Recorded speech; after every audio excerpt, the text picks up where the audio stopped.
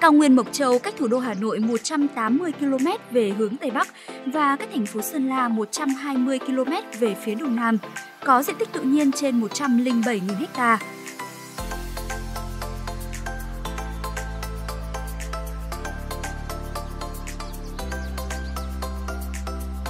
Đây là một vùng thảo nguyên rộng lớn, hội tụ đầy đủ các yếu tố thiên thời, địa lợi, nhân hòa để trở thành thiên đường du lịch nghỉ dưỡng.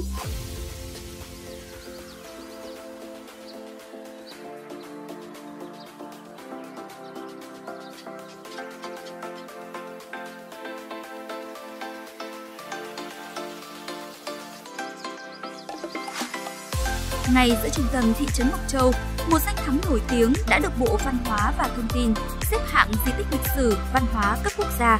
di tích Khăm Rơi, hay còn gọi là Động Sơn Mộc Hương và được mệnh danh là Tây Hiên Đệ Nhất Động.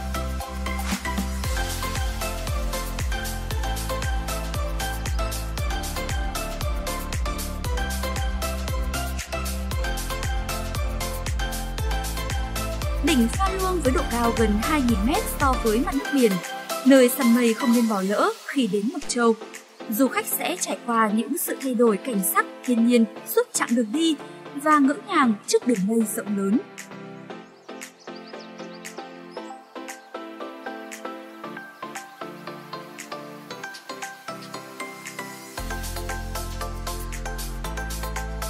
một trong những danh thắng thiên nhiên đến nay còn giữ được vẻ đẹp hoang sơ, kết hợp với hiện đại, thôi thúc sự khám phá, thưởng ngoạn của du khách là thác giải yếm. Thác giải yếm nhẹ nhàng, mềm mại bên sườn núi, như giải lụa hững hờ nối trời đất, minh chứng cho tình yêu thủy chung của chàng trai và cô gái Thái.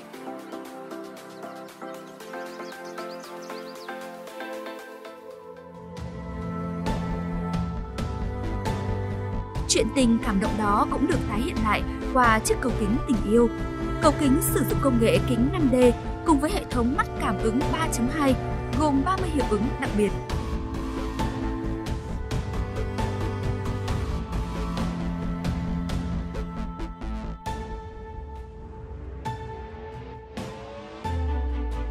Rừng thông Bản Áng, xã Đông Sang cũng là điểm đến có sự kết hợp hài hòa giữa thiên nhiên và các sản phẩm du lịch hiện đại.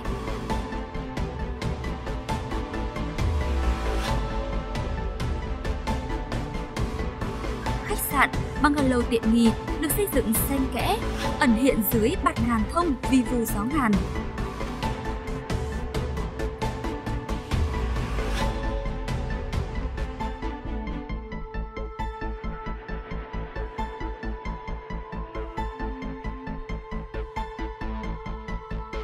Mộc Châu còn là nơi có nhiều di tích lịch sử như đồn Mộc Lị, khu di tích Bắc Hồ lên thăm và nói chuyện với nhân dân các dân tộc Mộc Châu, di tích lịch sử Trung đoàn 52 Tây Tiến là những địa chỉ đỏ để tìm về cội nguồn, nhân lên niềm tự hào dân tộc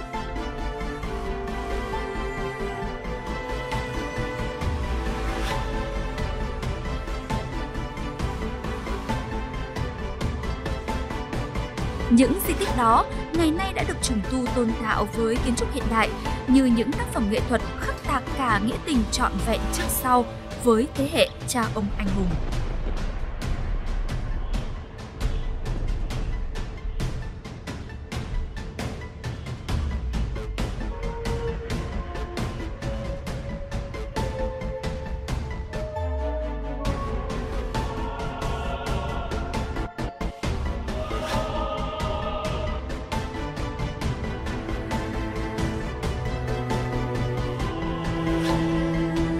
Hào phóng của tạo hóa còn ban tặng Mộc Châu trở thành vương quốc của các loài hoa,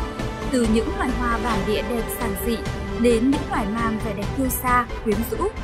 Hoa hiện diện cả bốn mùa xuân hạ thu đông, mỗi mùa lại mang đến cho Mộc Châu một vẻ đặc trưng riêng.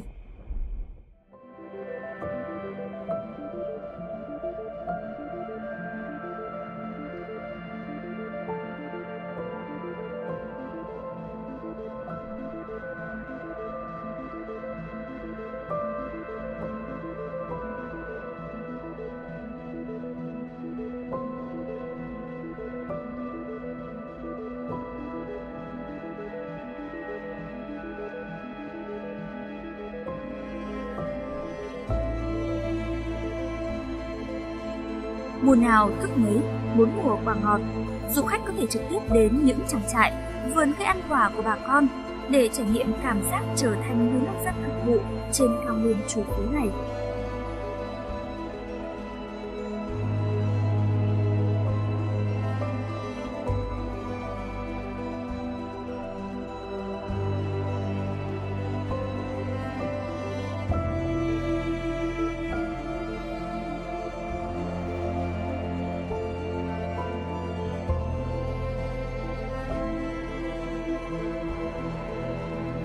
Trên thảo nguyên Mộc Châu tươi đẹp, có đến trên 20.000 hecta chè. Trở thành công nhân trên nông trường chè rộng bát ngát, bạn có thể hứng chọn những đợt gió trong lành, hái những búp chè non, còn vương những giọt sương sớm.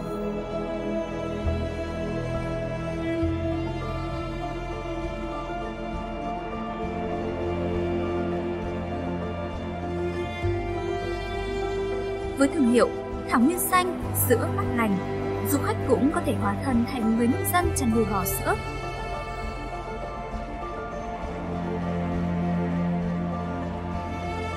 Ngắm nhìn những cô bò đang thành thơi gặm cỏ, cảm thấy thời gian trôi chậm lại, cuộc sống cũng trở nên nhẹ nhàng, thanh bình hơn.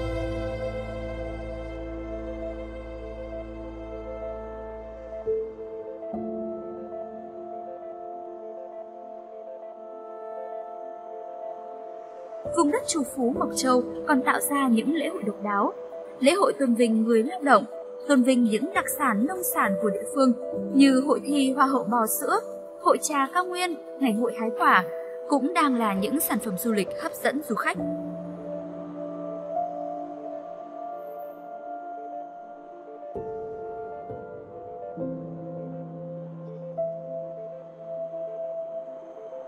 Cao nguyên bao la hùng vĩ đã sản sinh ra biết bao lễ hội gắn với những huyền thoại, với mỗi tên mường, tên bản. Đây chính là cơ hội để du khách có thể khám phá, trải nghiệm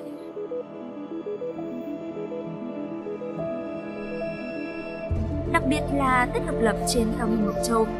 Đây là nét văn hóa riêng có, niềm tự hào của Mộc Châu và trở thành ngày hội thắm đượm tình đoàn kết của đồng bào các dân tộc đã tạo nên một bức tranh phong phú, đa sắc màu, đậm đà bản sắc.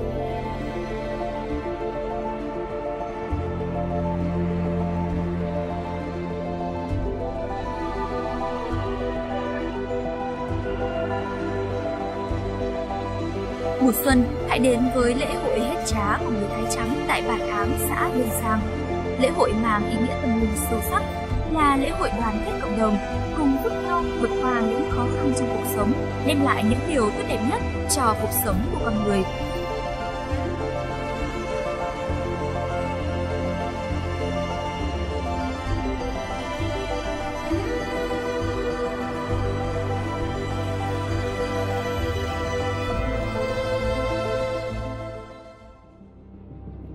Cùng với những lễ hội truyền thống, huyện Mộc Châu cũng đã có thêm nhiều lễ hội hiện đại được tổ chức quy mô hấp dẫn.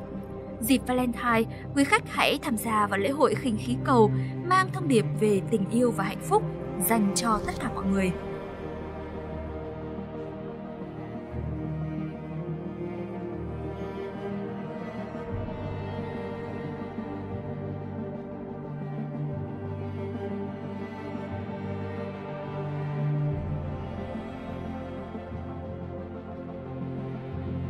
Mộc Châu còn là nơi lan tỏa tinh thần thể thao cao thượng thông qua giải chạy marathon đường mòn Việt Nam được tổ chức hàng năm, thu hút hàng nghìn vận động viên trong nước và quốc tế tham gia.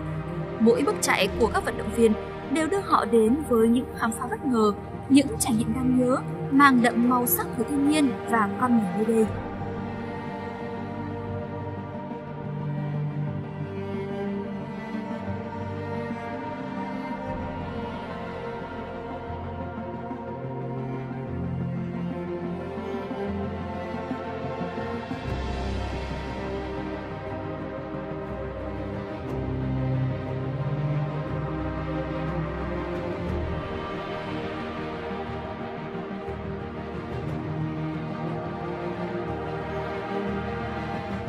Cao nguyên Mộc Châu, nơi tích hợp đầy đủ các yếu tố cho một hành trình tìm hiểu thiên nhiên, lịch sử, văn hóa, con người,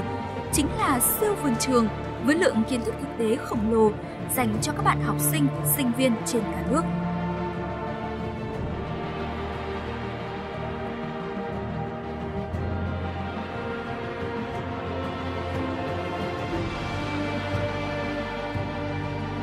Với những tiềm năng trong phát triển du lịch, Thủ tướng Chính phủ đã ban hành quyết định số 2050 QĐ-TTC phê duyệt quy hoạch tổng thể phát triển khu du lịch quốc gia Mộc Châu, tỉnh Sơn La đến năm 2020, định hướng đến năm 2030. Quyết định số 128 phê duyệt quy hoạch chung xây dựng khu du lịch quốc gia Mộc Châu, tỉnh Sơn La đến năm 2030, xây dựng thiên đường sữa Mộc Châu, dự án bảo tồn hệ sinh thái nông nghiệp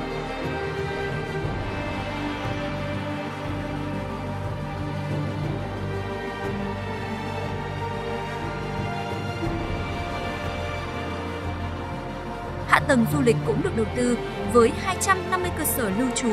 trong đó có 9 khách sạn từ 1 đến 3 sao và một khách sạn 4 sao, 12 doanh nghiệp kinh doanh du lịch, trên 320 cơ sở phục vụ ăn uống, các bản du lịch cộng đồng với nhiều hoạt động trải nghiệm hấp dẫn.